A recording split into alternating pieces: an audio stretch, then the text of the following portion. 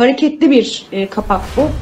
Ekonomist dergisinin rejim değişimi kapağının sırrı ne? Piyasaların çökeceğinin ve ekonominin zora gideceğini gösteren kapaklardan bir tanesi.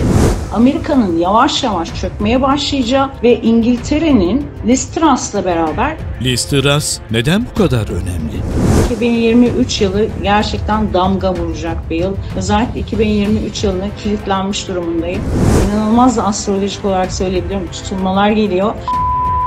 Biz konuşmaya başladığımızda iddia düzeyindeydi. Evet, o zaman bize düzeyinde. diyorlardı. Evet. Bugün reklamları yapılıyor. İnsanlığı bekleyen tehlikeler. Ben kainata büyük kötülük ediyorum. Ne yapıyorum? Çok fazla peynir tüketiyorum. Bunu azaltmam ya da hiç yememem. Aa ben tereyağı da tüketiyorum.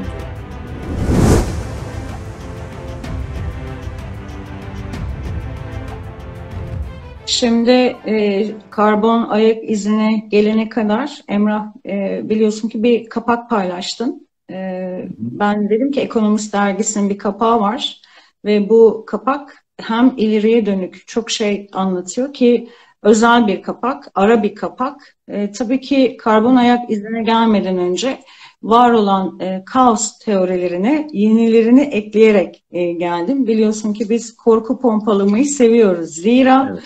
E, işimiz biraz korku pompalamak ama biz korkmuyoruz tabii. Bilinçli bir şekilde e, yön almaya devam ediyoruz ki ben biliyorsun e, sana dedim ki bu zamana kadar yaptığımız çalışmalarla alakalı da bir e, tarihler çıkartacağım. Ve bu tarihlerle aslında bu insanlar ne zamandan beri çalışıyorlar, ne zamandan beri e, bir şeyler yapıyorlar diye konuşacağız diye seninle daha önceden e, kararlaştırdık.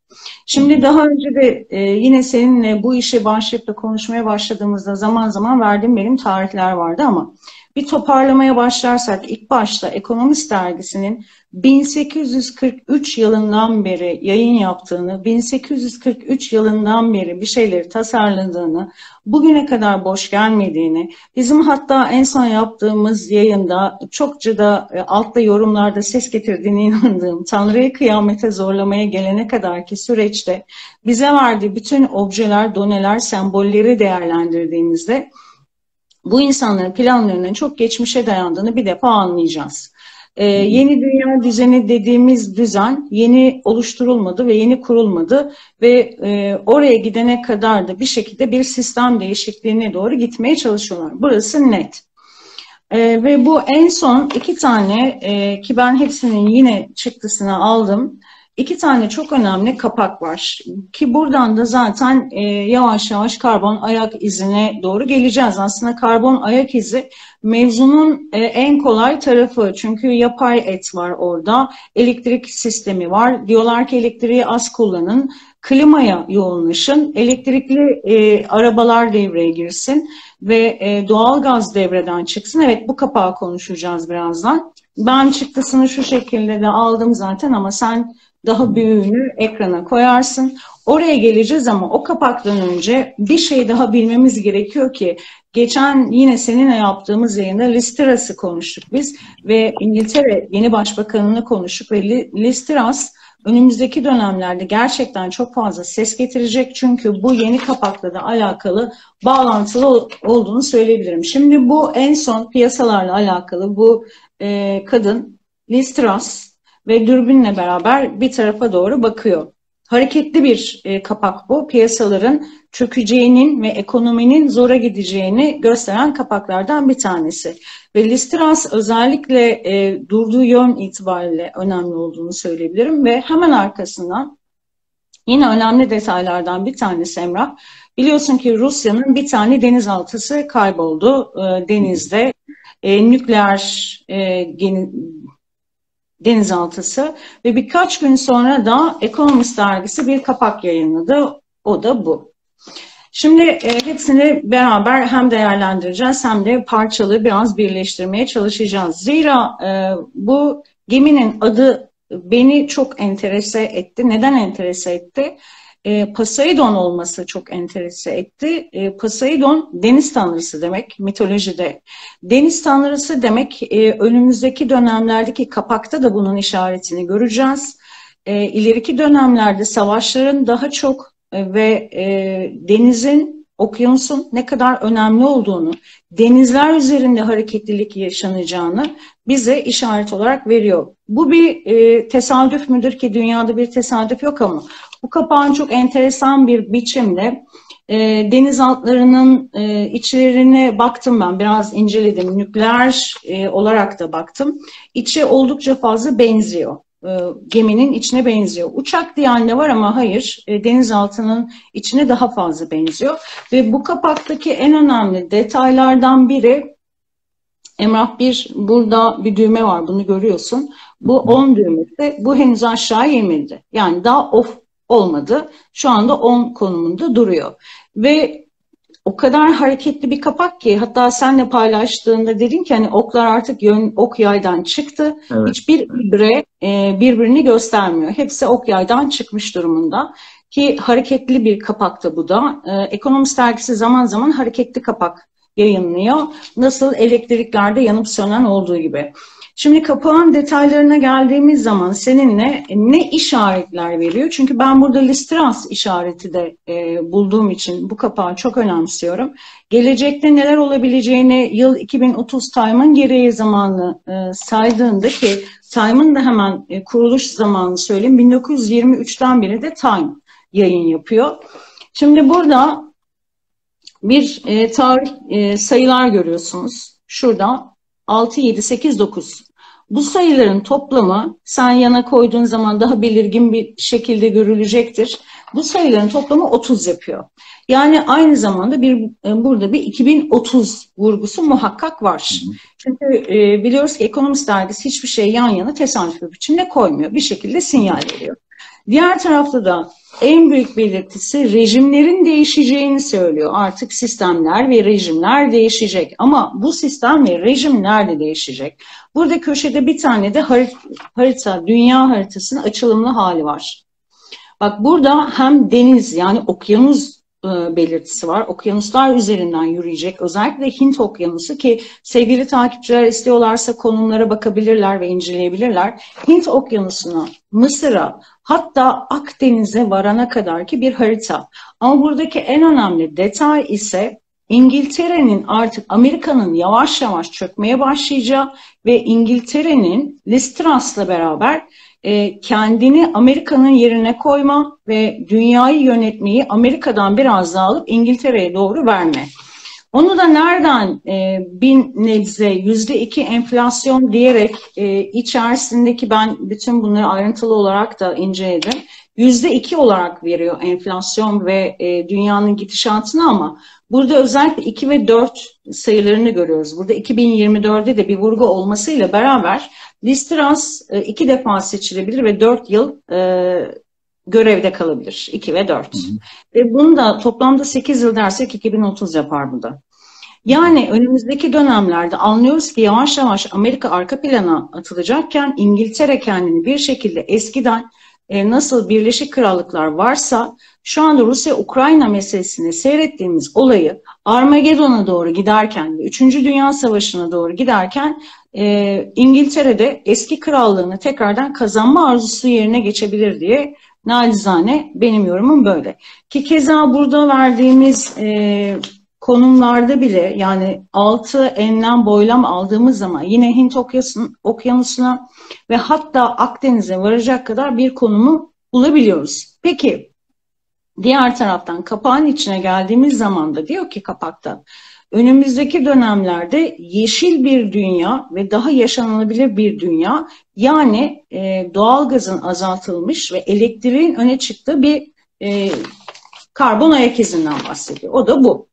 Hı hı. Karbon ayak izi ne demek? Daha az hayvan demek, daha az insan demek. Aslında baktığımız zaman karbonu en çok insanlar üretiyorlar. Ama onlar hayvanlar üzerinden bir çalışma yapıyorlar. Ve hayvan azaltımına gittiğini ve son dönemde de biliyorsun e, haberim vardır 50 bin e, küçük baş hayvan, e, kanatlı hayvan telef edildi. 50 bin kanatlı hayvan. Yani bu da demektir ki e, önümüzdeki dönemlerde bu sisteme doğru giderken yine biz elektriğin daha fazla kullanılması için dönüştürülebilir enerjiye doğru gideceğiz. Peki ilk elektrikli araba ne zaman üretilmiş bilgin var mı Emrah? 1835. Evet 100 yıldan fazla. Evet, yani ilk elektrikli otomobil aslında üretilmiş ve 1835 yılında üretilmiş. Şimdi diyorlar ki bize e, daha fazla elektrik kullanacaksınız, daha az doğalgaz kullanacaksınız. Hı hı. Artık burada e, klima sistemlerinin çok öne çıkacağı ve insanların diyor ki toplu taşıma araçları kullanın. Eğer dünyayı kurtarmak istiyorsanız toplu taşıma araçlarına önem vereceksiniz. Ee, insanlar artık araba kullanmayı azaltacak ve toplu taşıma araçlarında hayatlarını ve bisiklet kullanın diyorlar. O yüzden de ne olacak? Belki e, daha e, raylı sistemler, daha uzay sistemlerine doğru gidiyoruz aslında. 2030, 2045 ve 2050 hatta ben bugün 2050'ye kadar varan birçok e, noktayı okudum. Nedir bu uzay çağı? Aslında bunların gitmek istediği karbon ayak izinden ziyade evet karbon ayak izi var. E, suyu kurtarmak, işte emisyonu, elektriği, ulaşımı, e, daha az kağıt kullanımı, e, ve daha az atık ve atıkları dönüştürme. Baktığın zaman dışarıdan çok güzel bir sistemmiş gibi geliyor e, ve bizim de hoşumuza gidiyor aslında. Daha az atık kullanılacak, atıklar dönüştürülecek. Atıklar dönüştürüldüğü zaman da belki de artık şu anda da yapıldığı gibi insanlar daha az e, kağıt kullanacak ama daha fazla internete yüklenecek. Çünkü her şey internet üzerinden olacak. Ama e, şunu biliyoruz ki özellikle buradaki en önemli sebep insanları uzaya, Mars'a entegre etmek. Ee, bunun da e, en alt yapısı işte karbon ayak izine ayak uydurabilmek. Karbon ayak izine ayak uydurulduğunda insanlar hem uzay sistemlerine ve uzay çağına entegre olmaya başlayacaklar. Yani hepimizi bir şekilde uzay çağına ve e, Mars'a gidebilecek bir konuma entegre hale getirmek. Entegre olduğumuzda ne olacak? İşte e, kimi kısım köle olarak kullanılacak, kimi kısım elit olacak, kimi kısım evangelist olacak. Yani insanları ayrıştırma ve bölme konusunda daha fazla gidileceğini söyleyebilirim Emrah. Ve e, uzay çağında yine seninle ya daha önce yaptığımız e, konuşmalarda bir e, kova çağı geliyor. Hep diyoruz ya işte bu çağı çok iyi bildikleri için kova çağının geldiğini Kova çağında, uzay çağı demek bu, e, hiçbir şey zaten eskisi gibi olmayacak e, uzay yılında yani milenyum yılında. Bu çağda bildiğimiz uçan taksiler, daha fazla elektrik sistemleri, e, yerde aslında çok az şey görüp daha çok gökyüzünde olayları görmeye başlayacağız. Daha çok robot göreceğiz. Dünyanın iletişimini ve e, döngüsünü bu şekilde ilerletmeye çalışacaklar. İşte sistemleri yavaş yavaş buradaki tek problem bir tarafta mesela bu kapakta yine önemli bir sinyal verilen şey para sisteminin değişecek olması. Burada e, pound görüyoruz pound var burada. Yani Liz Truss'la beraber e, özellikle artık Amerika'nın, doların e, çöküşünün başlayacağı, İngiltere'nin krallığın öne çıkacağı ve bu krallığın da dünyaya hakimiyet getireceği, getirmeye çalışacağı e, ve e, Hint Okyanus okyanusuna kadar, Mısır'a kadar ki hatta yazdım ben, Libya, Kanada, Brezilya gibi ülkeleri de içine alan, sevgili dostlar dilerseler haritaya bakabilirler e, onları da içine alan eski kaybettikleri yerleri aynı Rusya-Ukrayna meselesi gibi 2030-2040'a doğru e, kendilerince yine e, yaymaya çalışacaklar. Bir politika oluşturmaya çalışıyorlar ve bu politikada karbon ayak izi de e, bunlardan bir tanesi. Çünkü e, puzzle parçalarını yine birleştirmeye başladığımızda ve olaylara net olarak baktığımızda ortaya koydukları bir sistem var ve bu sistemleri bir şekilde hayata geçirmek için hepimizi ona alet ediyorlar. Ha geçer geçmez bir yerde ben değişeceğine inanıyorum. Yani bir yerde e, planlarının çok istediği gibi gitmeyeceği gibi olsa da yeni dünya düzeninin içinde doların olmadığı, evet bir sanal para var ama e, sanal paradan ziyade e, sanal yani Bitcoin ayrı bir yer, sanal para ayrı bir nokta. Şimdi Bitcoin daha çok internet üzerinden indi çıktılarla hani döviz misali oynanan bir şey. Ama sanal para ve pound'u öne çıkarmak bundan sonraki sistemlerde işte o krallık sistemine doğru giderken kullanılacakları elementlerden bir tanesi olacak. Konuklarımız soruyor. Ee, bunu Armageddon'dan önce mi sonra mı yapmayı düşünüyorlar demişler. Yani Biden geçenlerde de e, Putin'in nükleer kartını öne sürmesi üzerine ne demişti? Biden. Putin'in böyle bir harekete e, Armageddon'a sebep olur demişti. Hı hı. Ya adamların zaten konuştuk ya geçenki yayınımızda, önceki yayınımızda detaylıca anlattık. Ee, evangelikler, Amerikalı evangelikler e, Armageddon'a çok inanıyor ve bunun için de biliyorsun e, Yahudilerin Müslümanlara karşı bir zafer elde etmesi lazım ve e, 3. Dünya Savaşı'nın ya da nükleer savaşın başlaması gerekiyor. Bunun da başlangıç yeri olarak Rusya olarak görüyorlar. Dolayısıyla da Biden ne dedi? Biden ne dedi? Eğer Putin nükleer kartını kullanırsa bu Armageddon'a sebep olur. Yani adamlar aslında yani öyle bir düzen kurmuşlar ki her yolu kendi inançlarının e, çıkışlarına bağlamış. Evet. Yani Putin de onların çıkışlarına hizmet ediyor. Biz de onların çıkışlarına hizmet ediyoruz. Tabii biz bunları söylerken e, Allah'ın da bir planı var. Ya bir de şöyle bir şey var. Ben Tanrı deyince bir, bilimsel olarak da bunun adı Tanrı'dır zaten. Türkçe hiç e, yani bilimsel olarak baktığın zaman adı e, Tanrı, Türkçe'ye çevirdiğin evet. zaman da adı Tanrı. Bir de ben Tanrı deyince adıma yani aklıma Allah geliyor. Yani Allah'ı kıyamette zorlamak da çok hoş durmuyor aslında. Burada Tanrı kelimesi onların mantığıyla daha mantıklı duruyor. Yani mesela Listras'ın en son yaptığı, daha yeni açıklama yaptı. Siyonizmin yanında olduğunu, İsrail'in yanında olduğuna dair bir açıklama yaptı Listras. E şimdi Listras bu açıklama yaptığına göre biz Armageddon'dan bahsedince neden biz suçlu oluyoruz ya da Tanrı'yı kıyamete zorlamak dediğimizde niye biz suçlu oluyoruz? Yani Listras'ı e, Siyonizm yanlısı ol. Ben demedim ki. Şimdi biz sadece olayı açıklamaya ve bakmaya çalışıyoruz. Daha uyanık yaklaşmaya çalışıyoruz olaylara ki fark edelim. Yani bu insanlar neyi niçin yapmaya çalışıyorlar? E bir Armageddon şu konuda hala aynı fikirde nükleer konusuna e, ve Putin'in bir nükleer patlatmayacağı konusunda hala aynı fikirdeyim. E, bu onun için sadece bir tehdit olacaktır. Nükleer belki 2030'a doğru e, artık işlerin çok istedikleri gibi gitmediğini düşündüklerinde yine bir tehdit olarak kullanacaklardır ama nükleer patlatmanın işin en kolay tarafı ama en acı tarafı da. 90 milyon insanın ölmesinden bahsediyoruz nükleer dediğimiz zaman. O zaman iş kolaya kaçar 90 milyon insan nüfus ne ki? Yani e, ve bu toprak zehirlenmesi o zaman karbon ayak izi diye bir şey kalmaz. Neden karbon ayak izi diye bir teori ortaya atsınlar, daha az doğalgaz, daha çok elektrik e, atıkları değerlendirme gibi bir şeye gitsinler ki nükleer tehdit onlar için ellerinde bir seçenek. Evet Armageddon diye ve 3. Dünya Savaşı diye baktığımız zaman adı nükleer savaş, nükleer savaş diye e, geçiyor ama şimdi... Evet, evangelikler öyle inanıyor. Evet öyle inanıyorlar ama bir tarafta mesela geçen yayında da söyledik evangelistler yani siyonistler bu dünya istiyor. Hristiyanlar öte alemi kendilerince cennete gitmeyi istiyorlar. Ama karbon ayak izi dediğimiz zaman e, neden nükleer patlatıp da bu kadar teori niye oluştursunlar o zaman? diye mantık yürütüyorum ben. Ama bunun ne zaman olabilir? Mesela 2024 tarihi verilmiş burada. Şurada hemen az önce de gösterdiğim gibi. Yani buradan mesela 6'ya da ulaşırız ki bu 6'da biliyorsun 666'nın en baş elementlerinden bir tanesi ki burada köşedeki sayıda da bir tane 6 var. 6 neydi? İncil'de yazan e, işte o canavarın, o damganın adı 666.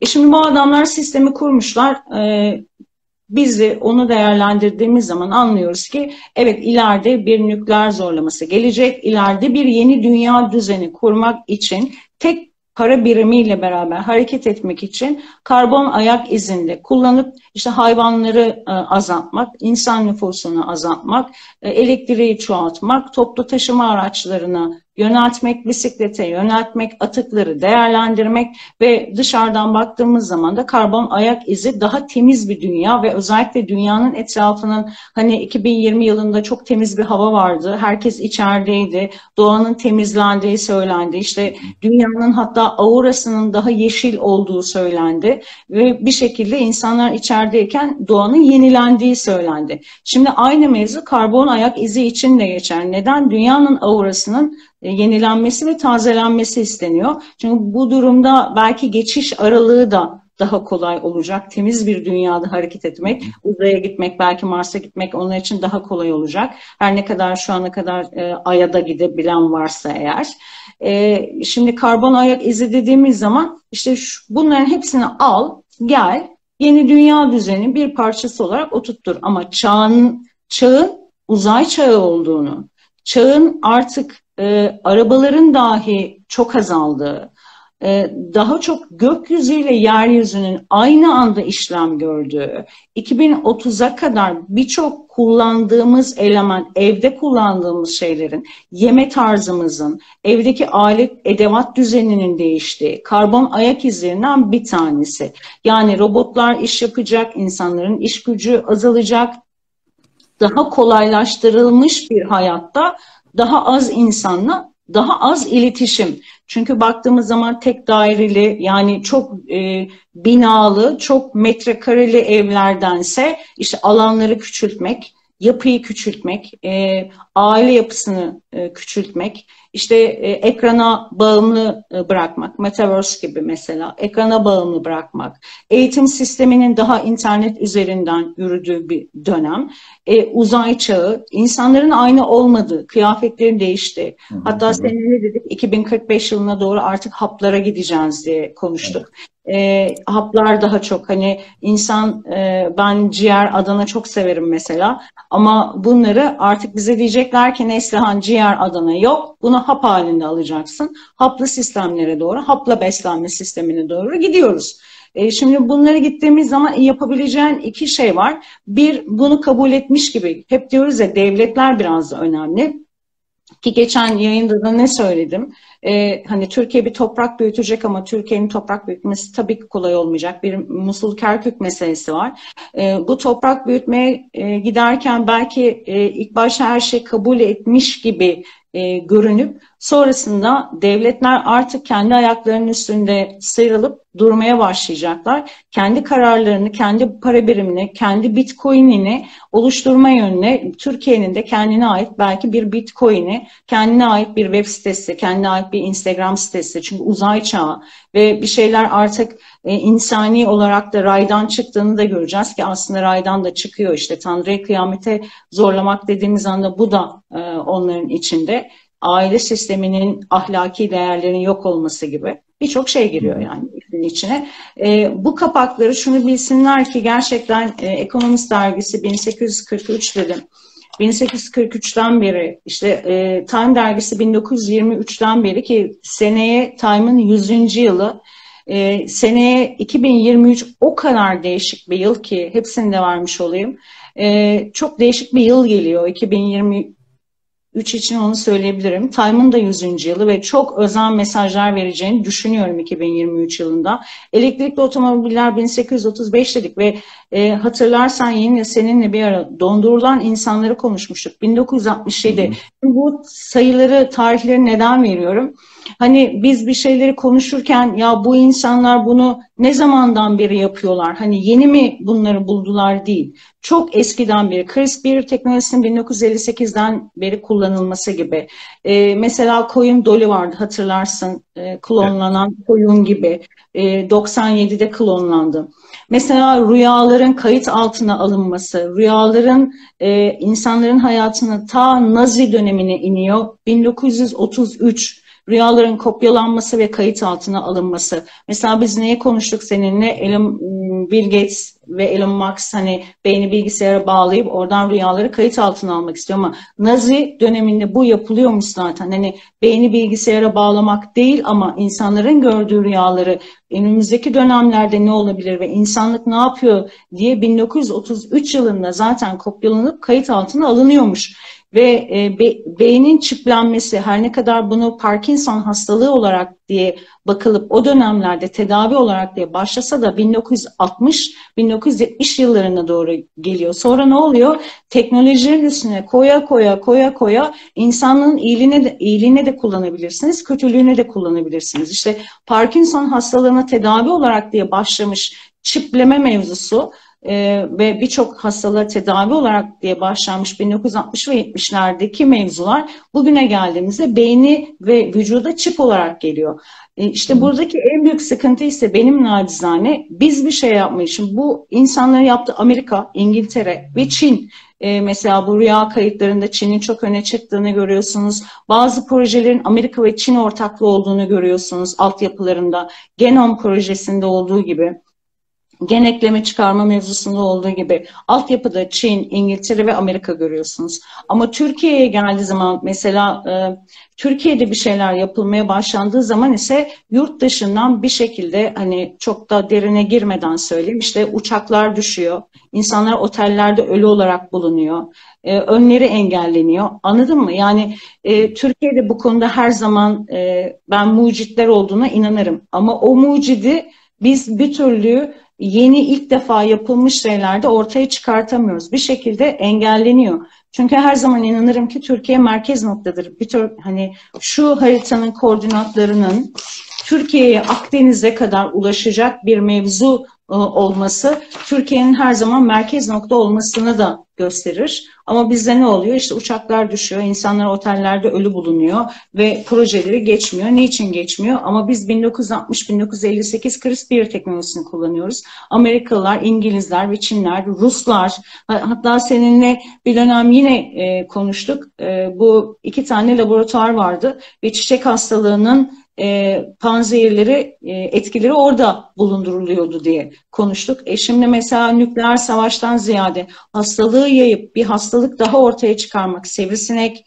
işte e, fabrikaları, yeni hastalıklar, önümüzdeki dönemlerde insanlığın içinde nükleer savaş en son seçenek bence. İşte o zaman 2040-2045'lerde belki e, bir Armageddon savaşı düşünebilirsek benim tahminime göre 2040'lardan sonra bir Armageddon daha muhtemeldir.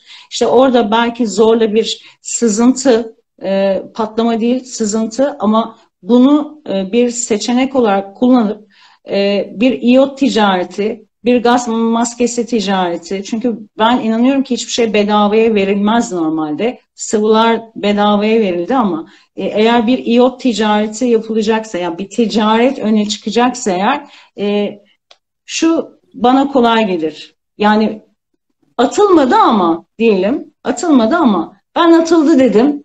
Gözünle gördün mü? Kulağını duydun mu? Şimdi biliyoruz ki Rusya-Ukrayna meselesinde savaş olmadığını iddia eden ses bombalarının kullanıldığı işte bilerek bir şeylerin hani bilgisayar oyunuymuş gibi gösterildiğini de söyleyen çok insan oldu. Muhakkak bir savaş vardır ve muhakkak insanlar zarar görüyordur ama göz önüne görmüyorsan artık kulağını duymuyorsan şu devirde bir şeylerin gerçekten olduğunu anlamak sıkıntı.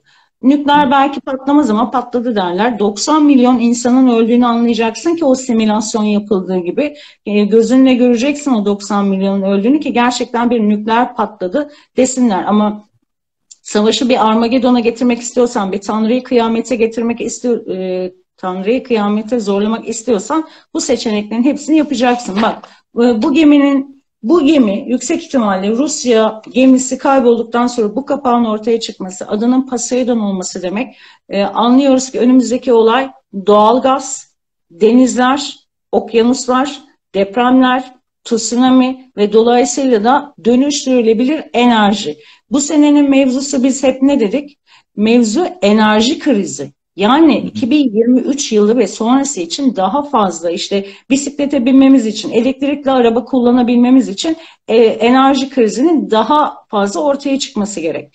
Bu yüzden de önce belki elektrikler gidecek, sonra da yavaş yavaş güneş enerjisi en çok e, önerdikleri güneş enerjisini kullanmak, rüzgar enerjisini kullanmak, suyun enerjisini kullanmak. E şimdi biz bu enerjileri kullanmamız için öncesinde demek ki bir kaosa, bir dönüşe, bir de değişime ihtiyacımız var ki biz bu sistemlere geçelim. İşte böyle böyle yavaş yavaş e, karbon ayak izi de diyor ki dönüşeceksin, e, daha verimli kullanacaksın, doğayı da daha verimli kullanacaksın, eşyalarını da daha daha az küçüleceksin, küçülmeye gideceksin, daha az yemek tüketeceksin, daha az eşya tüketeceksin daha az araba kullanacaksın. E şimdi mesela fiyatlardan da bunu anlamıyor muyuz? Yani da hepim yani gerçi İstanbul'u bilmiyorum ama insanlar daha az araba biniyorlar. İleride ne olacak? Arabalar da elektrikli olacak.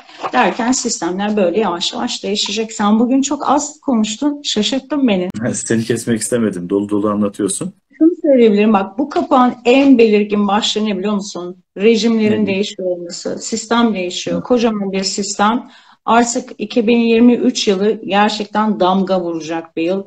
E, hepimiz yani ben özellikle 2023 yılına kilitlenmiş durumundayım. E, çünkü 2022 tamamıyla ekonomi üzerinden dönen ve sistem değişikliğinin üzerine nasıl ayarlayabiliriz, nasıl dozajı yapabiliriz, nasıl verebiliriz diye bir yıldı.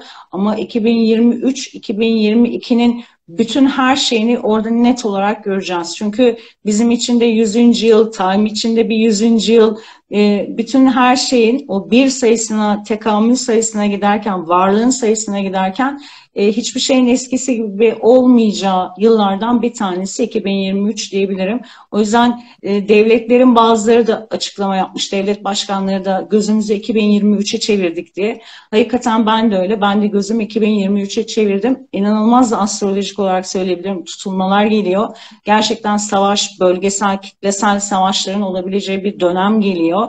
E, o dönemlerde hepimiz için bir şeyler kolay olmayacak. Türkiye için de zor açılar var. Özellikle 100. yılına doğru giderken. O yüzden hepimiz gerçekten ben de 2023'e gözümü çevirdim. Neler olacak çok merak ediyorum. Sen merak ediyor musun? Olacak olan olur der geçer giderim. İşime gücüme bakarım. Evet, hayata bakarım. Yaşamaya bakarım. Bence bizi izleyenler de öyle yapsın. Panik yapmasınlar. Bunları söylüyoruz ama bilsinler. Evet, bilmekte fayda var.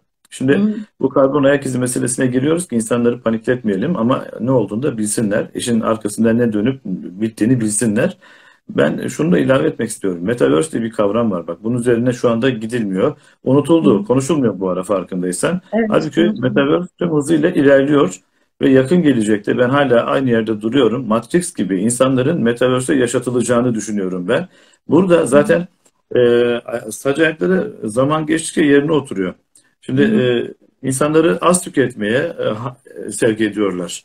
Yiyecek Hı. noktasında da daha az tüketme. Daha doğrusu çok tüketebilirsin ama tabletler dedin ya mesela işte Hı. ya da üretilmiş yapay gıdalarla beslenmeye teşvik etme. E, bunu konuşuyoruz ama buradaki insanlara, Türkiye'deki insanlara bu biraz daha komplo geliyor. Hayır öyle değil. Yani keşke şu an bizi izleyen dinleyicimiz e, yayına katılsaydı. E, ama YouTube'da o görüntüleri eklerim ben. E, bizi izleyenler YouTube'da bu yayını izlediğinde o görüntüleri izleyebilirler. Kendisi bana biraz görüntü gönderdi. Yani inanın şu an dünyanın e, birçok noktasında Avrupa'da özellikle İngiltere başta geliyor. İnsanlar orada böceklere, böcekten üretilmiş yiyeceklere sevk ediliyor. Reklamlar yapılıyor. Çocuklara böcek yediriliyor. Reklamlar yapılıyor. Bu karbon iziyle ilgili reklamlar şu anda yukarı çıkmış vaziyette dünyada. Türkiye şu an geriden geliyor. Neden geriden geliyor onu da söyleyeyim. E, Avrupa'yı eğer ki bir kanala sokarsanız bizim gibi üçüncü dünya ülkelerinde zaten o kanal onlar oraya girdi ya biz de onların peşinden gideriz. Zor değil. O yüzden öncelik Avrupa'da. Avrupa'da da şu anda müthiş bir empoze var. Yönlendirme var. Ee, şuna inanıyorum. İnsanlar Metaverse kavramına iyice oturtulduğu zaman o dünyaya geçiş tamamen. Çünkü bir anda olacak bu. Ben şuna inanıyorum bakın. Yani e, böyle yavaş yavaş alıştıra alıştıra değil öyle bir şey olacak ki bir anda insanlar pandemide işte ne yaptık biz bir anda bir günde hayatımız dışarıda bitti. İçeride yani dört duvarın arasında bir hayat başladı. Ve yakın bir gelecekte de buna benzer insanları e, dört duvar demeyeyim ama o metaverse dediğimiz o kutunun içerisine, o gözlüğün içerisine, diğer gözlüklerin içerisine insanları mahkum edecekler, hapsedecekler. Her şey orada dönecek çünkü. E, bunun şu anda altyapısı öyle bir hızla hazırlanıyor ki. E, şimdi bu insanlar e, sokağa çıkması lazım. Yani e, yiyecek noktasında falan bu insanlara daha böyle çabuk tüketecekleri e, hızlı hızlı gıdalar hazırlanması lazım. Bu e, inek olamaz, e, dana olamaz, koyun olamaz. Ne olur? E, yapay gıda, fabrikasyon. Tıkır tıkır tıkır az maliyet. Ondan Hı. sonra enerji işte yani maksat iklim işte şunu korumak bunlar hikaye. Ben bunlara inanmıyorum. Yani eğer maksatları gerçekten iklimi korumak olsa arkadaşlar çok net söylüyorum. Bugün dünya kıyamet kopardı. İklimle ilgili savaş verenler kıyameti kopardı. Niçin? Ukrayna-Rusya savaşını durdurmak için. Çünkü şu anda orada yani e, ne, ne derler? Doğanın, kainat, dünyanın atmosferin içine ediyorlar tabirindeyse. Her gün yüzlerce, binlerce bomba atılıyor. Yani bugün Kiev'e 120'ye yakın füze atılmış. Bunlar patladı. Yani her bir füzenin çıkardığı karbonu düşünsenize. Hı hı. Yani öyle. Yok efendim ineklerin çıkardığı gaz işte falan. Ya, nükleer denemeler yapılıyor. Öyle böyle değil. Dünyanın birçok noktasında. Kuzey Kore her gün nükleer deneme yapıyor aşağı yukarı. Her gün füze atıyor bir yerlere. Deneme Hı. yapıyor. Kim bunlara laf diyor? Bir füze yani ülkemizdeki bütün koyunlardan, ineklerden daha fazla zarar verebilir kainata, doğaya, atmosfere, her şeye, iklime. Biz bunları göz ardı ediyoruz. E uçaklar Yani her geçen gün artan bir uçak trafiği var. Biliyorsun değil mi? Uçaklar uçarken o arkasından motorlardan aslında biz altında duranlar fark etmiyor, görmüyor ama yakıt atıyor üzerimize. Elektrikli araçların teşviki noktasında üçüncü dünya ülkelerinin tamamı, Türkiye'de buna dahil. Var mı bir şey? Hayır. Yani sözde iklimi korumak istiyoruz. E ben elektrik, hadi ben alacağım bakalım. Hadi benim devletim desteklesin. Elektrikli arabayı yarı fiyatına verse ya bana. Hayır, ÖTV'si öbüründen daha pahalı. Yani aslında işin içinde çok başka şeyler var. Ee, çok konuşuruz daha biz bunları ama ürkmesinler. Allah'ın dediği olur. E, kendi takipçilerim e, çok alışkınlar bunları dinlemeye ama biz her zaman umuda bağladığımız için bir şekilde olacak olan olacaksa eğer dünya bir şekilde dönecekse eğer ve bir inancımız varsa eğer eninde sonunda e, Allah vaadini tamamlar, Allah sözünü e, tamamlar. O yüzden de biz aslında korkmuyoruz. Yani sadece bilinçli oluyoruz ve bilinçli bir şekilde hayata bakıyoruz. En azından e, bir et alırken ya da bir işte salamlı sosisli bir şey aldığımız zaman yapar mı değil mi diye arkasını dönüp bir okuyoruz. İçinde ne var diye bakıyoruz. Biz her zaman umuda bağlamayı seviyoruz e, ve hatta benim bir sloganım var takipçilerim bilir şimdi söylemiyorum onu burada. YouTube'da bir de buradan şey yemeyelim e, azar yemeyelim. E, ama biliyoruz ki eninde sonunda her şey e, bizim iyiliğimiz için e, Allah bu sistemi hazırlamıştır, oluşturmuştur ve bir şekilde hayata geçecektir. Ben evet. umutsuz hiçbir zaman bakmıyorum. E, ki baktığın zaman hep aynı şeyleri de konuşuyoruz. Bak yıl 2022-2022 yılından beri seninle hep aynı şeyleri konuşuyoruz. Yapay et konuşuyoruz, dönüştürülebilir enerji konuşuyoruz. Ama bunlar ekonomi... şöyle, biz konuşmaya başladığımızda iddia düzeyindeydi. Evet, o zaman bize komplo diyorlardı. Evet. Bugün reklamları yapılıyor. Ya bugün senden önce bir video izledim. Avrupa kanallarında, Avrupa medyasında, YouTube'da, şurada burada reklamları dönüyor. Bir kadın işte hayata diyor ki ben diyor işte ne not aldım buraya. Uzun duş almıyorum diyor. İşte benim günlük 5,5 kilogram karbon sınırım var diyor. Bunu aşmamaya çalışıyorum diyor. Ne yapıyorum diyor. İşte uzun duş almıyorum. Giysilerimi ikinci el alıyorum diyor. Çok güzel bak bunlara ben de katılıyorum. İşte ondan sonra ta, tamir ediyorum bozulan eşyalarımı diyor. İşte ayakkabı şunu falan. İşte yenilenebilir enerji kullanıyorum diyor. Enerji maliyetlerimi azaltmaya çalışıyorum diyor. Mümkünse daha çok yürüyerek işe gitmeye çalışıyorum. Araçta Ben değil. söylediğim gibi. Diyorum diyor. Ondan sonra bak şimdi bak. Bak buraya kadar çok güzel. Her şey süper. Katılıyorum. Ben bak burası İslami hatta. Yani hem ahlaki hem İslami buraya kadar. Hepimiz öyle olmalıyız. İsraftan israf ya bizde israf diye bir kavram var. Elde olmayan, bizde olan, Müslümanlarda olan bir kavram. İsraftan kaçınsak sorun yok. Ama buradan sonra sorun başlıyor. Diyor ki mesela ben kainata büyük bir kötülük yapıyorum diyor. Ne yapıyorum? Ya ben çok fazla peynir tüketiyorum diyor. Şimdi ya küfür eder gibi anlıyor musun? Küfür eder gibi. Buraya kadar çok güzel. Buradan sonra ben kainata büyük kötülük ediyorum. Ne yapıyorum? Çok fazla peynir tüketiyorum. Bunu azaltmam ya da hiç yememem. Aa ben tereyağı da tüketiyorum diyor. Tereyağı tüketiyorum ve e, karbon ayak izimi bu patlatıyor diyor. Bunu bitirmem lazım, yememem lazım diyor. Yani burada notlarım var bir sürü. Vejeteryan beslenmeyi teşvik ediyor. Yani bugün vegan, dünyada vejeteryan, vegan ve vejeteryan. Özellikle vegan, vegan biliyorsunuz evet. yayılıyor. Çok teşekkür ederim e, Neslihan.